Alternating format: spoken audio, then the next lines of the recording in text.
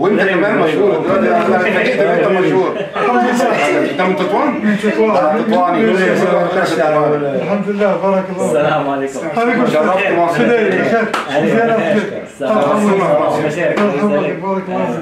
اول حاجة آه، كانت مقابله قويه ضد فريق آه، مانيبيا آه، لعبنا بطريقه حسبيه آه، اللاعبين داروا علي- عليهم بدينا بقينا متمسكين على نسجلوا هدف آه، الفوز. آه، استطعنا في الدقيقة 88 وكنشكر اللاعبين اللي قدموا مجهود كبير. وكنشكر آه، ايرفي رونا المدرب ديالنا اللي عطى تعليمات للاعبين ديالنا تعليمات مزيانين.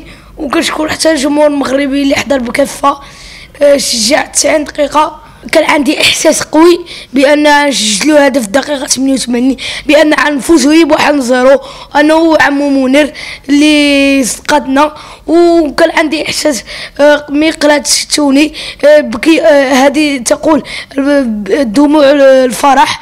آه، أنا كنت بكيت في روسيا بماركه بحدوث على راسه ولكن آه، كان كان كان عندي إحساس قوي وبكية جات آه، على غفلة وشكرا آه، للجمهور المغربي اللي مغرب مصر